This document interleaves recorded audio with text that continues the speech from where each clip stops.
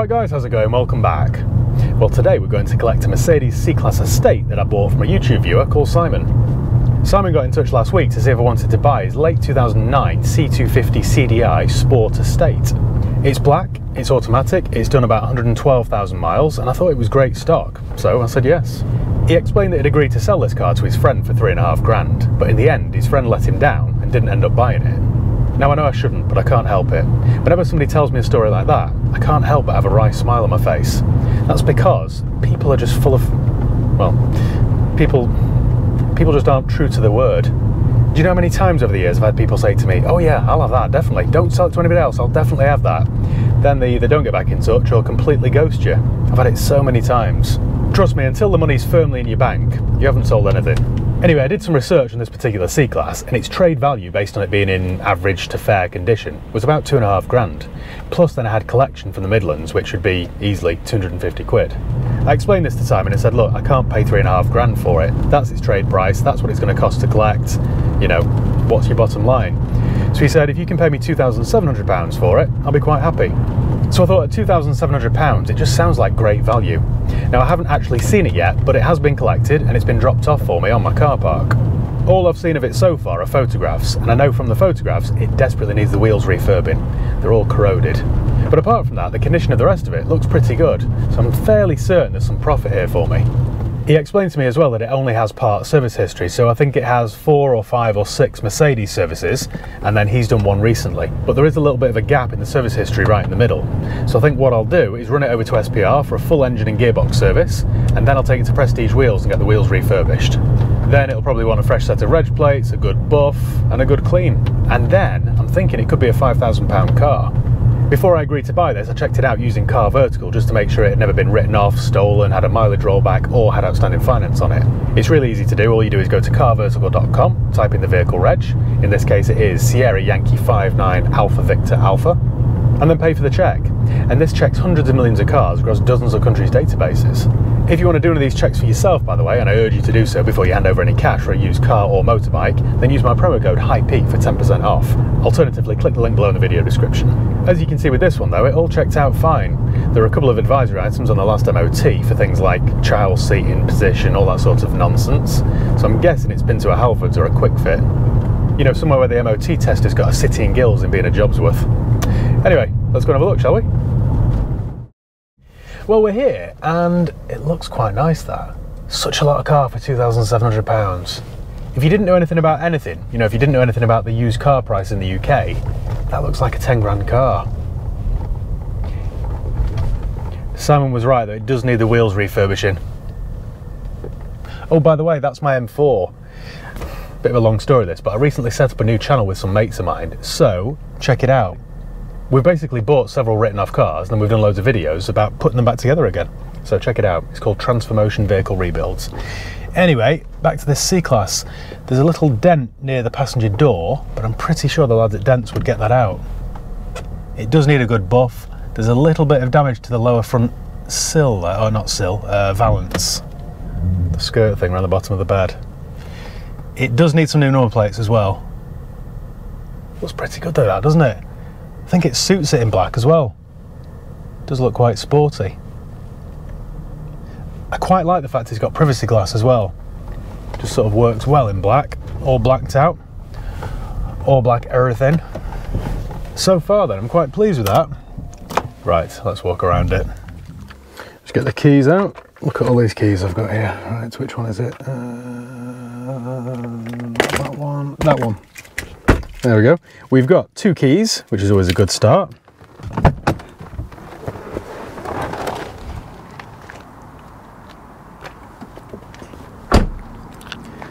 But yeah, not a bad looking car, is it? In fact, it's very tidy. Does need the wheels refurbishing though. Look at the state of those. I'll also order some new centre caps. They always corrode. This is definitely a job for Prestige wheels because these need to be stripped and dipped and then powder coated probably twice. Might need new brake discs as well. They're a little bit, little bit rusty. There's a little bit of a lip on them. The back, hmm, back are the same actually. Yeah, that once it's had its wheels refurbished, should look really good. That tyre looks pretty good as well. It's on about six mil of tread and it is a Is it a new brand I've never heard of? Can't even see a brand on this one. A y- Is that the brand? Y- Yat one or Yatone? Never, literally never heard of that. What's the front one? That again's on about five mil. That's pretty good. Is that another? No, this is a Cap Captura. Nope. Gr- Gru Gremax. Another new one on me. That. There's a little bit of paint missing off that toe and eye cover there. We've got a broken fog lamp there. It does need some new plates. There are lots of little marks over it, but I think they would buff out. person behind me is having a phone call that they want the whole world to hear, I think. How loud are some people? Uh, we've got a matching Gremax on the front, so we've got the same tyres on the front axle. Is this another? Looks the same as the other side. Yeah, a Yatone or a Yat one, I've got no idea. No idea. Oh, look at the state of this wheel. Nasty, isn't it, that? Nasty. Ah, a little bit of a scuff there. I think though, on a car of this age and miles, I think I could buff around that and then touch it in carefully. Couple of little marks here where people have opened the door into it, but I think they should buff out.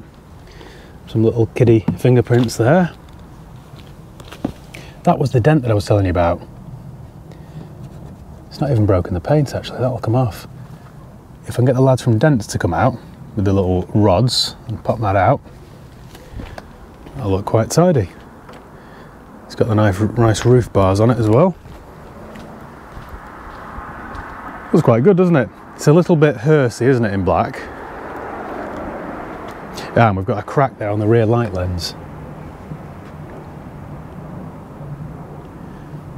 I'll have to have a look on eBay and see if I can find a replacement.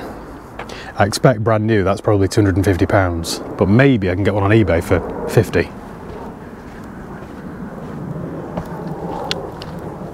Now I've just noticed another little dent there. Yeah, I'll have to call dents. Quite pleased with that though.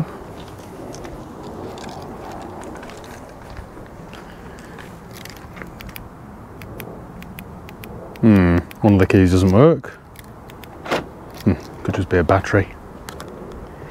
The paintwork does look quite dull, but I'm convinced it will clean up. All these little marks here, people's fingernail marks, it will come out, I'm sure. Power folding mirrors. Well, it's quite a good spec, this. So we've got four electric windows, powerful mirrors. Ah, remote tailgate as well. No. Oh, there we go. We have lift off. That's quite a good option on one of these, I think. A couple of little scuffs here around the back, but again, I can touch those in. That definitely needs a new light lens. Definitely.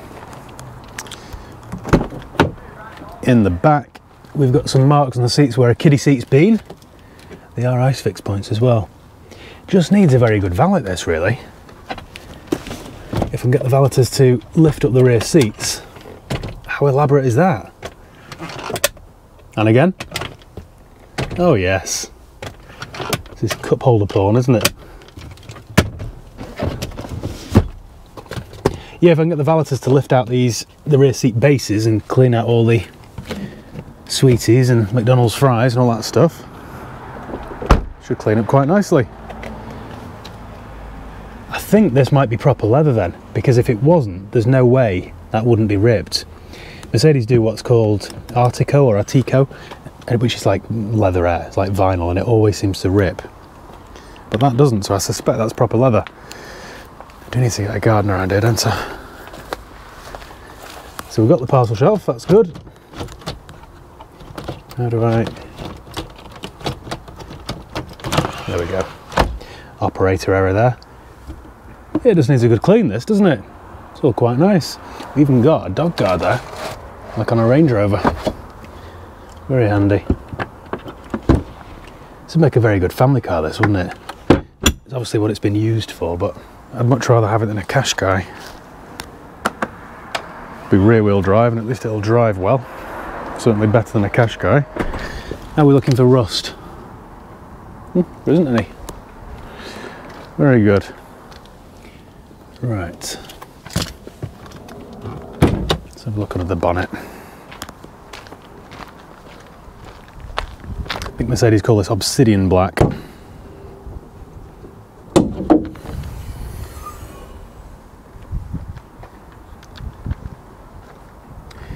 Well, as is often the case with modern cars, there's not an awful lot to see here, is there? There's no rust though on the top mounts there. Again, just needs a good clean. It's all quite, quite honest and original, isn't it? No obvious leaks of any kind. No signs of accident damage. Chassis legs are all fine. Very good. Very good. And the struts still work.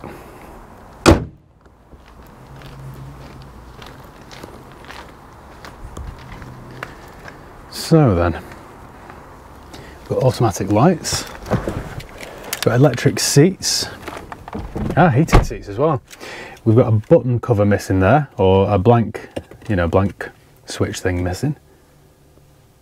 Quite nice, isn't it? I quite like this wood trim. Cup holders, what we got under here? Yeah, this one's a clean. 12 volt charger there for something. Very good. Right, let's fire up. We've done 112,000 miles. My engine light comes on, that's good, so no one's, no one's wired it out. What stations have been Time now for listening the travel, to? his honour. Nikki, thank you very much. We've Radio 2, I would say. news, we've had many incidents There we go. And of course, it's the rail strike. Nice and sensible. Now these 2.1 litre diesel engines are very noisy. Listen to this. Very agricultural, aren't they? They are quite reliable. Now, in terms of service history, I've got that on email. So, I don't expect to see anything in here really. As of, I think, 2008, Mercedes went digital with their digital uh, service record, so there's no, no service books. So if you contact your local Mercedes dealer, they will email it across for you. He also said that there was another service receipt for. Right, it's had two new suspension springs, coil springs. A recall was carried out for the driver and front passenger airbag. Okay, very good.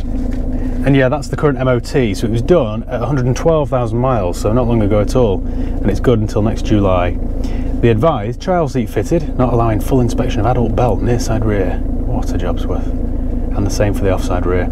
And also, suspension arm ball joint has slight play offside front. Well, that should be evident in the test drive, shouldn't it? I'm expecting it to be a little bit knocky. Right, well, this I think is worth every penny of £2,700. What else? Oh, look at this.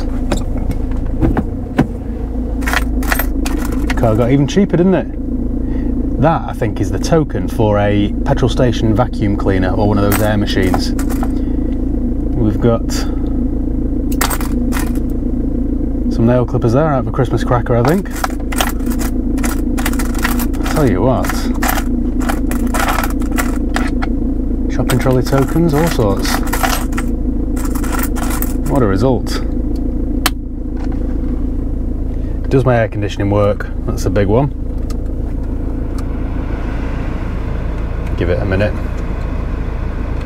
Ah, we've got front parking sensors because that's my display. And the rear display is up there on the rear headlining. Quite clean this, isn't it? In fact, very clean. Quite impressed with this. Hmm, perhaps I could do with a new pollen filter because it smells a little bit, but it does work. That is getting nice and cool. Oh, we've got paddles as well. Just spotted those. Right, should we take this for a drive then? See how it performs. Make sure it doesn't smoke too heavy under acceleration, all that sort of stuff. Better turn that aircon down, it works a little bit too well. I suspect this has never had a gearbox service either because only weirdos like me get that done. So I shall get that done along with a full engine service, change the pollen filter, get the wheels refurbished. That feels quite solid over the bumps. Hmm, spoke too soon there. Little bit of a knock.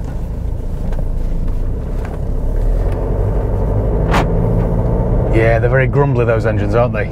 They tend to be even more audible on the cheaper cars like the C Class, where I think they don't use as much sound insulation. They are very reliable though, usually. Yeah, so far so good. Electric seats work. There we go, very good. Do my windows work?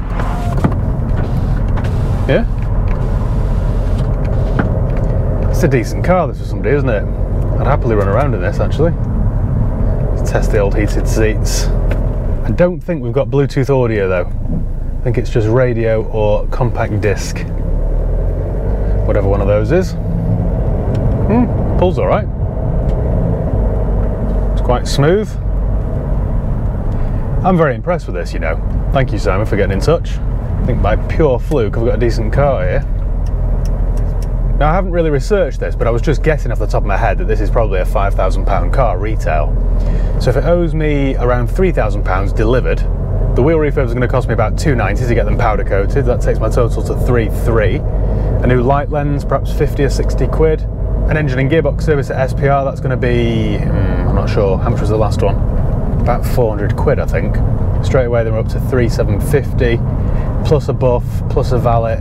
We're talking about four grand, so before you know it, your profit margin does dwindle, doesn't it? Still, as long as I don't unearth any more faults, there should be a good thousand pounds profit in this. And that isn't to be sniffed at, is it, in these trying times? My seat works. Oh, I've just noticed it's got a quarter of a tank of diesel as well. I know it's something minor this, but I hate to get in a car that's either been traded in, and I don't do it when I'm selling a car either. I always try and make sure there's some fuel in it. I pick up that many cars from main dealers which have been traded in that are running on absolute fumes, and I just think if you're that cheap that you're trying to use every last penny out of the fuel tank, you probably haven't changed the brake fluid. Anyway, that might just be more judgmental nonsense from me, but, but I don't think it is. I think it's indicative of the previous owner and how they've looked after it. Right, well, I'm going to head straight over to SPR, then I drop this off for an engine gearbox service, and then crack on with the rest of the work. I'll also call Prestige Wheels over in Bredbury and get this booked in. Right, I shall see you then in. Hmm, how long is this going to take me? Should be quite a quick turnaround, this, because there isn't an awful lot to do. Uh, give me two weeks, give me a fortnight. Well, we're back, and as you can probably tell, I'm not in the Mercedes estate, and there is a perfectly good explanation for that. I've been away from my desk now for about a fortnight. The first week I spent in Spain on holiday, then when I got back, I had a couple of days filming down south, and then a couple of days tying up some loose ends, and then finally I got back to my desk on Friday. And it turns out the black C-Class Mercedes SY59AVA sold in my absence. It's annoying when this happens because I didn't even have a chance to finish the video. Anyway, it sold for 5995. Now if you remember, I paid just £2,700 for the car, so straight away I'm thinking there's £3,300 profit. Not so fast. Not so fast. There would be a nice, healthy, fat £3,300 profit in this car had I not massively overspent on it. And I mean massively overspent on it. Oh dear. What I'm going to do now then is talk you through what happened, talk you through what I spent, and then try and figure out if there's any profit left. I don't think there is, to be honest. Don't think there is. After we last spoke then, I took the car down to SPR, who are a Mercedes specialist over in Stockport, and I always use them for Mercedes, they're really good. I asked them to do a full engine service and a gearbox service, and just a general check over and see what it needed. But when I was on my way there, a fault developed. I hadn't realised this, but when you were going up a hill, you know, when you were putting the engine under excessive load, there was a load of vibration coming from this central area. So I thought, oh no, this is my gearbox. My torque converter's on its way out. There goes my profit down the drain. So when I arrived at SPR, I said, can you just check that out for me and see what it is?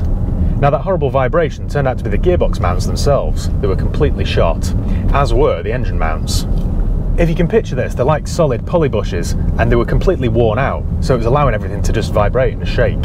I had those replaced and that wasn't cheap. They also did the full engine service, they replaced the fuel filter because that hadn't been done for a while, and they also replaced the pollen filter. And they also ran through some sort of odour eliminator thing because if you remember the air conditioning was quite quite whiffy, quite smelly. Then they called to say the brake lines were quite badly corroded. In fact, they said don't go too far in this because they might burst at any time. So I thought that's really strange because it only passed its MOT like two months previously. Granted, it was at a Kwik Fit or a Halfords or something, but there was absolutely no mention of these brake lines. It turns out that the brake lines are all concealed by these plastic covers, so you just can't tell, and it's quite a common issue with this era of Mercedes. And that's why this wasn't picked up on the previous MOT. So if you do have an older Mercedes of this generation, check them out, because if they burst, it could be, could be quite dangerous for you. Now, unfortunately, SPR were quite busy, so they couldn't do the job for a few weeks. So I picked it up from there and ran it back to my local garage and asked them to do it for me. In case you're wondering, my bill at SPR was £1,313.64. So that straight away did knock the wind out of my sails a little bit. Then when it was back down at my local garage, I asked them to fit a new rear light. Remember how the old one was cracked? Well, I found one on eBay for £70. So I asked them to fit that, which, to be fair, I could have done myself, but it was there for other work, so I thought they may as well do it for me. And if you remember, it had a button missing from the dashboard here. So I called Mercedes thinking they'll just be able to sell me a blank switch, won't they, for 30 pence? Nope. This is Mercedes after all, isn't it? They wanted £130 for the complete switch set. So I thought, no, I'm not doing that. So back to eBay, and I found one for £29. My mechanic fitted that for me, and it was as good as new. Then I picked it up from there and took it over to Prestige Wheels in Bredbury, who refurbished the wheels for me.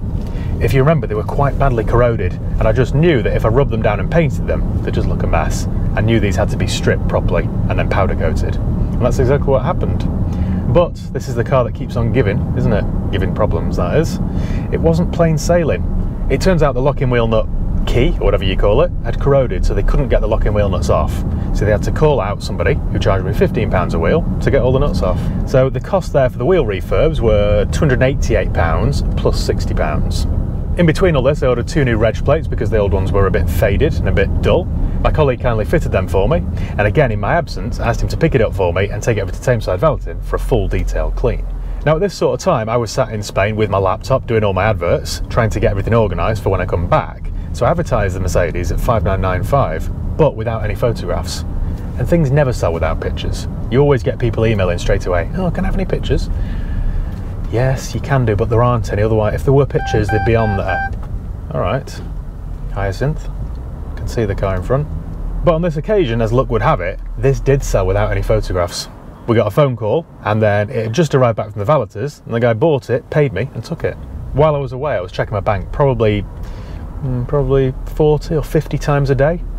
I'm trying to complete on a house very soon, and I need every last penny. And I just keep waiting for bits of money to arrive. Anyway, I was checking my bank, and sure enough, 5995 came in with the reference SY59AVA. I thought, I know that wretch. And then I thought, uh, it's the Mercedes, isn't it? Which I haven't finished the video with.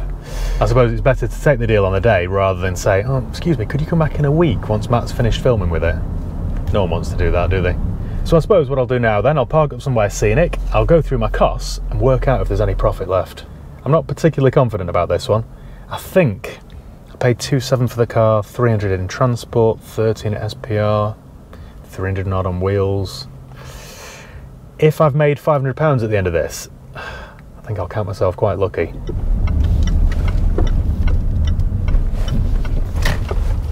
Right, well here we'll do then.